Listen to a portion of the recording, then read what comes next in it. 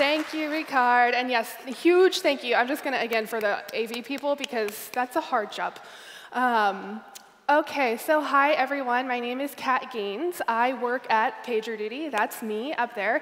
We are talking about incident communications today. Um, just real quick, um, that is my QR code up there if you want to connect with me on LinkedIn later. My Twitter handle, I'm going to admit I'm not on Twitter very often, so please just find me on LinkedIn instead. Uh, I work at PagerDuty. I've been there for about nine years. I used to run the technical support team there, and then a couple of years ago, I switched to developer relations so I could come do this and talk to people about incident management and all the things that we've learned over the years. So I'm going to start with a story where I remember my mom texting me in October of 2021 about a Facebook outage complaining that she couldn't log into her Facebook page. This is pretty typical. Something goes wrong on the internet, and she assumes that I can fix it because I work in tech. I don't work for Facebook, and even if I did, this was kind of a big deal. It wouldn't have been a one person fix. But I was kind of curious. I kept an eye on it. It was a pretty big issue. And later, I noticed they posted an explanation. When I was looking for it for this talk, I think I found it on their engineering blog. And it was a pretty long explanation.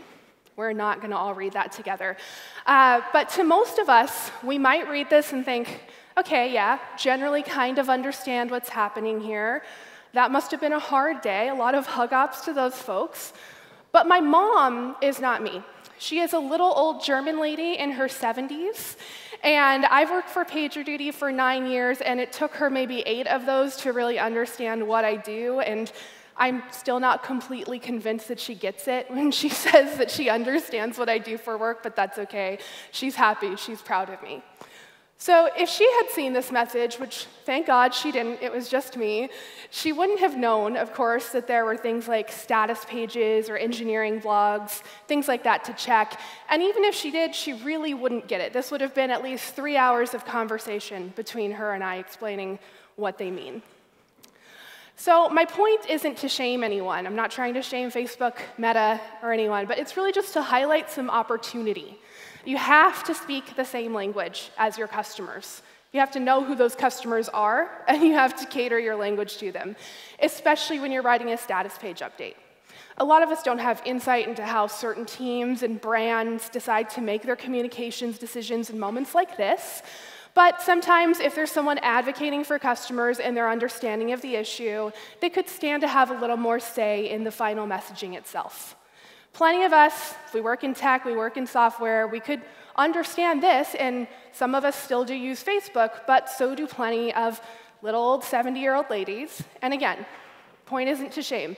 We've all made mistakes like this. I've made communications mistakes in my time. I've known, I think everyone I know has. No one is perfect. And we'll keep doing it. We're imperfect. We will keep doing that periodically. But we can really learn something here, which is the importance of involving your customer facing teams in those critical moments to make sure that we're translating correctly to ensure that your customers understand. So there's a massive, massive gap in how your customers perceive your product and how an engineer in your company, a product manager, anyone else in those sides of the business in your company will perceive it. For the purposes of this conversation, I'm setting aside the best practices that we all know that should enable everyone in your business to really understand your customers, to know the voice of the customer, your customer sentiment. You've probably heard those terms thrown around a lot by your customer facing teams. But even if you're following those to the letter, this gap is huge and it exists because those groups will inevitably refer to exactly the same things in completely different ways. And it gets more complicated. For example, let's not even talk about what happens when we throw marketing in there. They come up with an entirely different language for it. So, this is PagerDuty's chart of basic roles in incident response. We are focusing on the liaison roles in orange for the purposes of this conversation, but it's just good to remember where they sit in the process. So, just a quick overview here. We have our incident commander who is running the incident call, making decisions, making sure things stay on track. You usually have a scribe who is recording what happened so that later you can go back and reflect on that. A deputy who can step in for either one of those roles depending on the need, or they can just be an assistant to the incident commander, making sure that things happen as planned, check up on tasks, those types of things. And then you also have your subject matter experts who understand intimately what's going on with the part of the product that's affected, and they're the ones who are hopefully working on fixing it. But your communications liaisons, you'll notice that I have two here. As far as who can fill these roles, your customer support teams actually have a really unique advantage here. They work with your customers every single day, all day, that's what they do, and they're best positioned to understand who those people are and what resonates with them. They've seen it all. They've made mistakes, they've course corrected and found the right ways to communicate with those customers. And every problem is unique, but especially the more seasoned of those team members will have found a pretty common language to speak to your customers and to get the message across. I'm gonna pause for a quick sip of water. So before we dive deeper, we'll just overview how liaisons function in an incident. Your communications liaison, again, this is the overarching role that I'm talking about. It's the link to your customers and your stakeholders throughout the incident itself. It's really important for the rest of the command staff to be able to focus on the problem at hand instead of worrying about crafting messages to customers. You really can't do both of those things at the same time. So this role can sometimes be an all-in-one type role. I know in the last chart I had it broken into two, but for a lot of folks it can be just an all-in-one. But it can be broken into two, one for customers and one for your internal stakeholders, other employees who need clear messaging on what's going on, but who aren't involved in the incident itself. So we can look at how both of these work. Your customer liaison, they're the primary individual in charge of notifying your customers of current conditions, and they're also in charge of informing the incident commander of any relevant feedback they're hearing from customers while the incident progresses. That liaison should be doing a couple of things listening to the incident call. If you have a Slack room or another chat room where conversation is happening about the incident, they need to have an eagle eye on that and keep track of what's going on, understand how the incident is progressing. For example, is it still investigating or is it close to resolution? They should also be tracking incoming customer support requests, so they have to be in kind of a lot of places at once. They need to understand and report on the customer impact that the incident is having. So that's why it's really useful. We call it a customer liaison. We don't prescribe necessarily who has to be filling that role, but it can be really useful to have that person be part of a support team already. It's also worth noting that, again, these are the folks who are thoughtfully crafting messaging to your customers all the time. They understand their language. For example, you wouldn't want someone to report a full-scale outage to a customer during an incident if that's not what's happening. That could imply that, of course, something is very, very wrong, will stress your customers out further. And so instead, these folks are specially trained. They know how to tweak phrasing, say things like service disruption instead, to minimize concern and panic as much as possible. And then your internal liaison. So this person is in charge of notifying stakeholders of the current conditions. Anyone in the business who needs to know what's going on. That might be the rest of the support team, it might be a sales team, may just be other people in the company who are curious, executives who could otherwise jump in and distract from the incident resolution itself. And then they're also responsible, again, for coming back to the incident commander, letting them know of relevant feedback from those stakeholders in case there's something important or critical as the incident is progressing. So if you're using incident response software, it could be PagerDuty, it could be something else. This can often be automated a little bit, you can't always fully automate it, and if you can't do that at all, if you don't have the tools to do that, that's okay. The person in that role just needs to be someone who is really aware of the appropriate internal channels for disseminating those updates. In either role, the incident commander is always also, excuse me, going to give that person feedback. They'll instruct them to create notification messages, to keep everyone in the loop updated at various points throughout the call, and then those liaisons will be required to craft the message, make sure they get approval from the incident commander before just going ahead and posting it. And then they want to, of course, disseminate that message to their customers or stakeholders last. So aside from just communication, customer support can also provide all kinds of actual support during an incident. We're talking about communication here, but it's important to know that these folks can provide a lot of value to your team. They can do things like aggregate the customer issues to give you a really clear view of how many people are reporting the issue, or even just a little bit of a view into what symptoms they're experiencing that you may not be aware of from just looking at the monitoring or what's happening. They can help you prioritize SLAs based on customer reports. Maybe there's a set of customers you could speed things up for, optionally if you needed to. They can play double duty again as an internal liaison if needed. That is, I'm going to caution, having one person watch a lot of things at one time, but I've done it. It's possible. It's just not comfortable, especially as your company grows a little bit larger. And they can provide support with data in any post incident follow up actions. We'll talk about a couple of those things in more detail in following slides. Oh, yes. So, getting into how we do this. It starts with just laying a foundation to make sure that you have the structure to make it happen. Your first step is making sure that your customer facing teams just have enough info to do the job. A customer liaison should, of course, be involved in your incident response, but you also have to treat that team as a stakeholder yourself. Don't rely on an internal liaison to do it so that they are equipped. And when I say that, I'm talking about not just during an incident, but wholesale in terms of how you interact with them day to day. During an incident, those internal stakeholder communications can proactively provide some situational awareness, some transparency around the customer impact, and those updates should also be as proactive as possible so no one is caught off guard. That sounds a little bit wrong. Incident response is by its nature reactive, but as soon as you know that something is happening or you anticipate where it might go, you can fold that into those internal updates. And having a really well defined internal communications process during your incident can really benefit your whole team. It can provide a more consistent understanding of the incident itself across the organization, Make sure there's some broad, real, in time awareness of the impact of the incident. There's no one asking, well, how big is this? How affected are we? How many of our customers are experiencing this? And make sure, most importantly, I think that you have a really consistent incident narrative to share externally. You don't have different teams saying different things because they're getting guidance from their managers or someone else who may have a different idea of what's happening.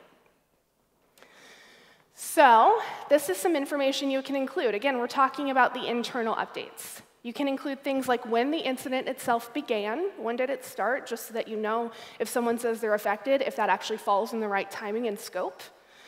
A brief description of any services impacted by the incident. You might be categorizing those as business or technical services depending on how you organize your infrastructure, but you want to make sure that you clarify what those are and what they do.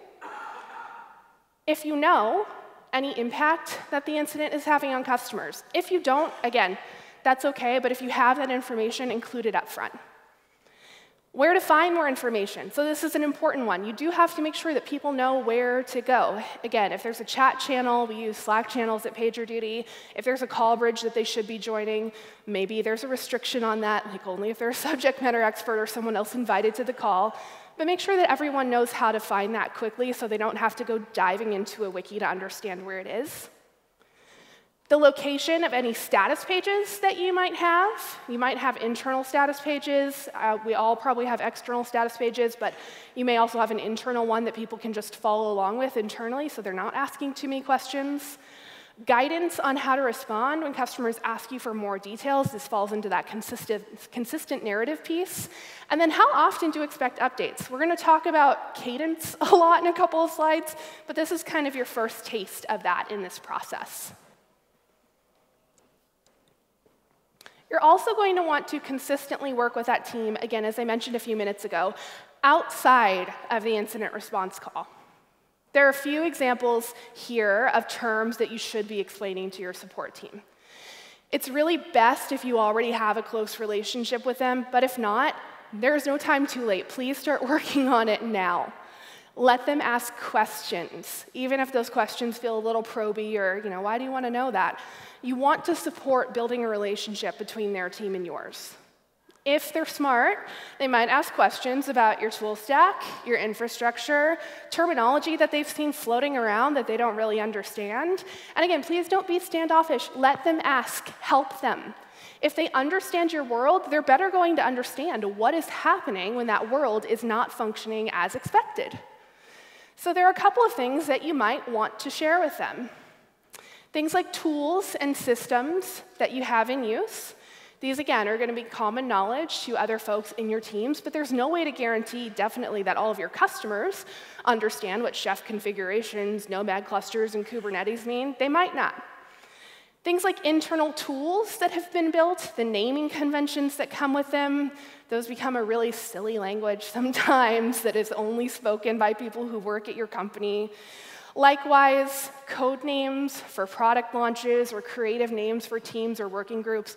These are really fun to make fun when we're naming these things, but you do still need to have a definition so that anyone coming in can understand what it actually means. Uh, the tools that deliver parts of your services, and then my favorite, freaking acronyms. So this is more secret code that is really only known by people at your company. And it's very easy to say, well, it's commonplace. Everybody knows what that means, right? This is the world we live in. But even if you think it's commonplace, I've got a good example up here. If you know, you know. But please don't make it so you have to know. That's a mouthful. Uh, so even if you have some process in place with these teams, but you haven't shared these details, again, it's really a better late than never strategy. Please go ahead and start now. So after you have that foundation set up, you want to make sure that that team has the tools they need just to get the job done when communicating. So, first of all, in their toolkit, where do they get info? It's really crucial that they know where to get that info in a really scary moment for them. You want to have a channel of information established. So, for example, at PagerDuty, there are multiple ways support can get information. There's the good old classic Jira ticket. Uh, there's the PagerDuty app itself, which integrates into support tools like Zendesk and Salesforce Service Cloud, and I think a few more. Uh, and a Slack channel where information is readily available when something is happening. So those tools and channels have to be figured out early for this to work. That's why I say figure it out now, because you're not going to want to do it in a critical moment or right after a really gnarly incident has happened and you're trying to figure out how to make it better next time. They also need to know the process. They have to know their role in incident response. So, again, for many of us, that's going to fall into a customer liaison or communication role of some kind, but have some clearly defined roles and a, description for them. This can be really hard to come up with from scratch, so this is where I'm going to lean a little bit on the fact that I work for a company that does exactly this and tell you that if you need inspiration, we have what we call operations guides that are just best practices of how to do these things published on our website. I'm happy to guide any of you to them later. It's a really nice template for just getting started. And before you decide to communicate an incident, it's really important to have an agreed upon set of criteria for when that incident is communicated. False alarms and short lived issues can really just sometimes kick off incident calls in ways that you wouldn't expect. So, knowing when communication is appropriate versus not will help your customers avoid widespread panic, again, when it is something that's a false alarm or relatively transient. This can be tied to your definition of what an incident is or your severity levels. And again, if you need some help defining that, we are always here to help you out. And you might also consider the following criteria which products are affected, how badly is the usage of those products affected, how many customers are affected, how noticeable is the impact itself, and is the impact something your customer might want to have contingencies for? Do they need a fallback plan for your failure mode? That team, that support team or other customer facing team that you're equipping with this process has to be ready to pay attention to those things. They have to be ready to pay attention to how things are progressing, to update their own team, and then to have a plan for those customer facing updates. And speaking of that plan, I'm just going to toss this in here really quickly. Oh, too fast. Uh, I cannot strongly enough recommend having some templates for incident communication. It sounds a little bit just like something we don't want to do at a knee jerk level, that, you know, we don't want to have canned language or sound too robotic about something. But we'll talk a little bit more about what these look like in a couple of minutes. It's really just your first line of defense to have something where you don't need that team to come up with language from scratch. There is a template there that they can follow. It can still be unique. They can still make sure that there's a human voice behind it. But they can really cover different stages of an incident, both for the standard issues and special situations. Again, we've got a little more on those in a couple slides. So now, after we've done those things, it's time to start thinking about how to break it down for your customers. The very last thing you want as maybe an incident commander or the subject matter expert or just someone else hanging out in the call is to be asked to draft communication yourself.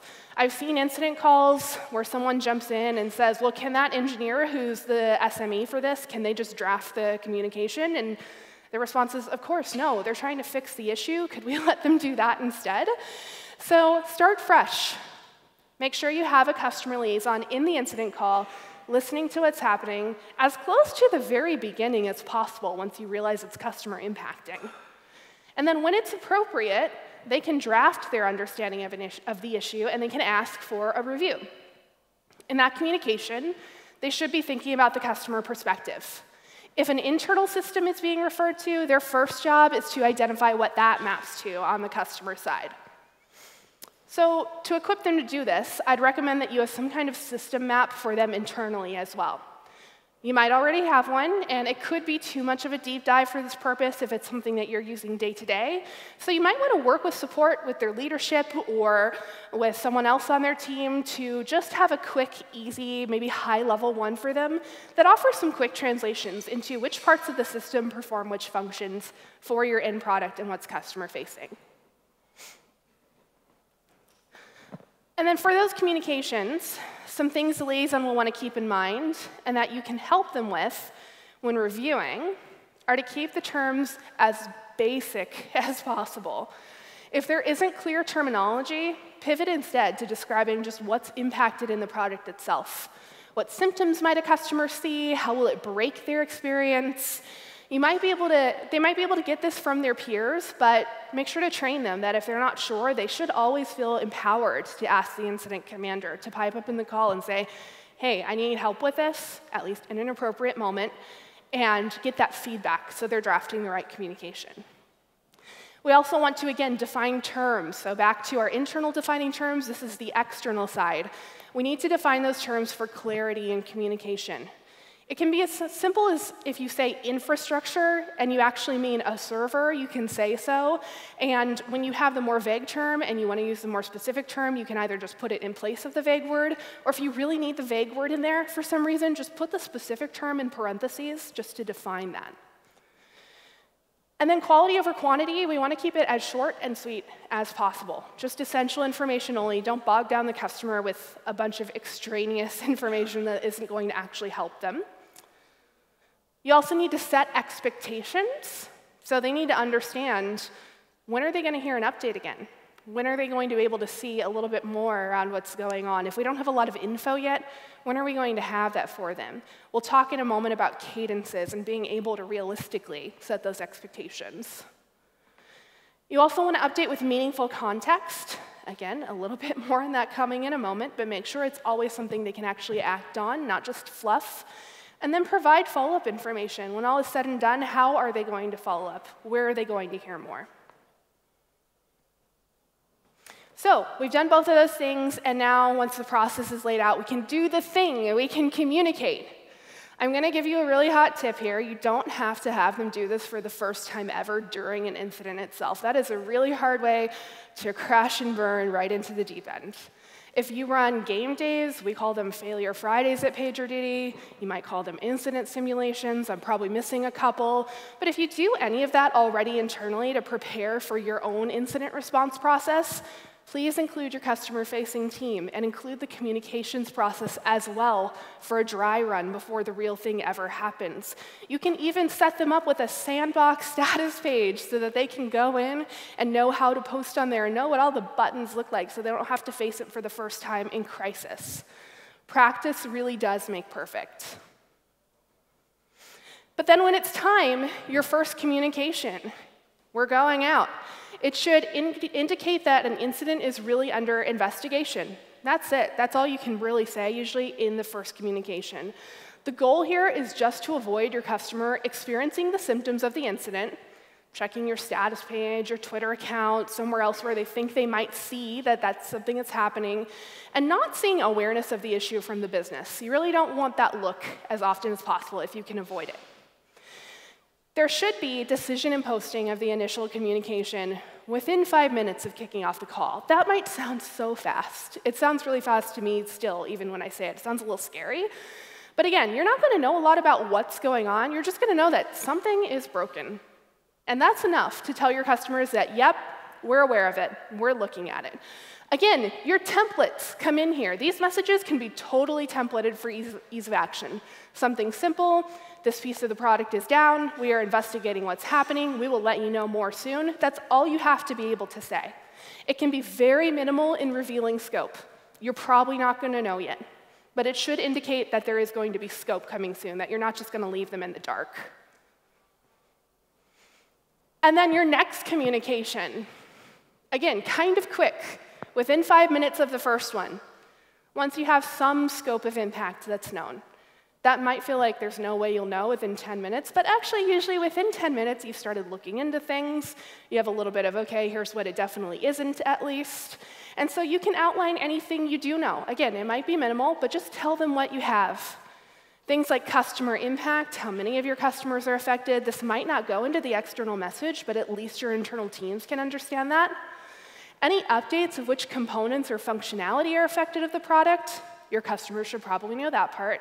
And then any regions which are affected, if applicable. And then depending on the length of the incident itself, you're going to want some periodic updates. Those are going to be necessary. We recommend at least every 20 minutes from the scoping update during the first two hours of an incident. After two hours, you might choose to update with reduced frequency if it looks like this thing is going to stick around for a while. You might shift to a long incident communication model, and we're going to go into that in a, in a slide just down the line here. But regardless of the expected frequency, when the degree of impact has meaningfully changed, that's when your updates should be posted. That actually, if anything, is the only rule meaningful change. And so your cadence might change a little bit based on that. We have our recommendations, your best practices, but if you are posting too often and just giving them fluff, that's not helping. And if you're posting too little and they have no idea what's going on, that's not helping either. So when I talk about meaningful change, what I mean is those updates should indicate any changes to impact or scope of the incident itself. They should indicate if you think you might have shifted into recovery or mitigation steps. Even if you're not declaring full recovery, if you think you're on your way there, say that. If you're wrong, that's okay. Say that in the next update. But then provide an expectation of when the next update will be posted. Again, so they know what to expect. You also might have customers who have special contracts around their customer support or customer success. You might not even know if they have that or not, so go ahead and ask leaders of those teams. But they might have a contract for something that is often called a premium support plan, something like that, where they pay money to get faster responses from customer support. Those should probably receive some kind of different communication. The support or success team should help decide that. It might be an individual outreach, it might be through their account team, but just ask around, find out what they have so that you're aware of what they're beholden to with those customers. And then those long running incidents. So, again, longer than two hours should be considered a long incident, should have some different communication procedures as a result. We're probably not going to update every 20 minutes for like six hours. But when we know that it will be extended, you have to set those customer expectations appropriately. And you also have to make sure that you're avoiding customer notification fatigue due to a content less update. So, when in doubt, just notify again at the frequency which keeps those meaningful. You also don't want to jump the gun. Please don't determine this within the first hour of an incident. Don't look at it, look at it and say, yep, that's going to take four hours. You might not actually know that. You could be right, but you could be very wrong. And you don't want to declare a long running incident too fast, again, so you don't panic your customers or even panic anyone internally. You just want to kind of let them breathe until you know for sure. If you do know it's a long running recovery, though, say this as soon as possible in an update when you know. Don't keep them in the dark. And if you're planning to reduce the frequency of updates, which you probably should at that point, make sure you keep providing expectations of when the next update should be posted. And then resolution, our favorite part. so your final communication should really be posted when full recovery has been confirmed only by the incident commander. They're the only person who has the authority to say, great, we're done, this is recovered. This update should include confirmation of full recovery, Any clear indication of lasting impact, there might be data loss or lingering corruption that customers may want to just look out for in their accounts. But also, if there's no lingering impact, please clearly note that in the update. And then we are also going to get ready to create follow-up steps. We're going to close out the status page item. Again, your customer liaison is doing all of this. And most importantly, this is for your customer liaison, but also probably everybody in the call, breathe. um, just get some rest. And I'm emphasizing this because you still see people a lot in hero mode where maybe there is one of those long-running incidents and that person just wants to stay on and be the person for you know, four hours at a time, and it's unsustainable. So remind yourself and everyone around you to take a breather when appropriate. It's nice to have maybe a rotation of folks who can switch out and be your backup so that you know that you're just not on the hook for communication or any other aspect of the incident for the entire thing if it's lasting a long time. So, this has really covered how to start. Once you have these steps in place, you can go a little bit further in maturity. You can develop templates for your customer support team. Yes, you. You can help develop those templates in partnership with them so that when they write those status updates for customers, they know where they are. You can also recommend to them that those templates live in their ticketing system itself, as well as your status tool. It doesn't have to be confined to one or the other. Heck, throw it in a wiki, publish it anywhere you want. Make sure that just they know where to look for it, especially for those common issues. And then do some regular hygiene check-ins too. What's working and what isn't? This goes hand in hand with also having that customer facing team participate in things like incident reviews or postmortems. It's really important to communicate what worked and what didn't with customer communications as much as the technical details and the bones of the incident itself. So I mentioned game day practice. It's also a great time to check in on and update those processes for hygiene purposes. And then finally, get them in the incident review or post, oh, Nope, not finally, but get them in the incident review or the postmortem as well. Make sure that you talk about what worked and what didn't work about the communications. Maybe they can call out that there was executive swoop that was distracting them from writing an update. Maybe there was information they needed at a critical moment and it wasn't available. Maybe someone else in another team worked really well with them and deserves a shout out. And then, finally, consider formalizing the role at some point. Whether it's a percentage of a support engineer's role or a separate role under your org, or even just something like a formal on-call rotation, that percentage thing can be kind of hard to figure out. But again, bringing support into things like on-call rotations and just having a sense of incident rates can help you with that. You can get that data from tools that do that, like PagerDuty, but also other tools as well. This can even be an option for career development, something they can grow into, or a role from which they can grow into other roles. You'll have to be a little creative about this. I don't know if you know this, it's a well kept secret. Support teams don't really get budget a lot of the time, but it's worth working with their leadership to figure out what's right for your org and what's possible for both teams, regardless of where the money or headcount sits. So thank you very much. Uh, again, my LinkedIn QR code is up there. I mentioned our operations guide for incident response. I don't have a QR code for that, but the link is there. And again, I'm happy to guide anybody to any of those guides later on if you want to come find me or message me. And uh, yeah, just thank you very much.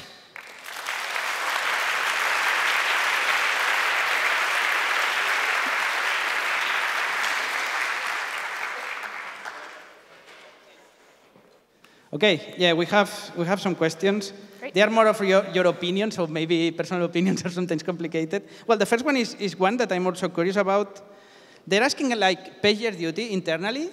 You obviously, hopefully use PagerDuty, but do you use a separate instance in case the main offering of PagerDuty goes down? Yes. If you can disclose these things, yeah. Yeah, no, um, I'm actually going to guide everyone to a really... Oh, I'm sorry. Uh, my mic isn't on. Espera, que el, el micro se le han apagado el micro.